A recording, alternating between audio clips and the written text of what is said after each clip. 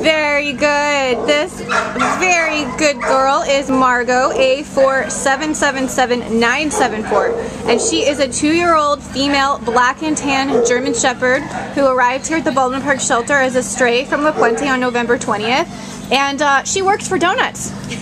so she's definitely had some training. She knows how to sit on command. Um, she has been really friendly around other dogs. Has a, you know, a very typical German Shepherd, fairly active energy level. So uh, we'd love to see her go to a home where um, she's going to get the exercise that a dog of this breed and intelligence needs. Uh, Jeanette, what else can you tell us about Margot? Yeah, this girl needs exercise. So hiking, you know, running buddy, family, this is what she's meant for. She's adventurous. She wants to get out of here and play. And she's been good with all the other dogs I've had her around. So, so this is a great dog.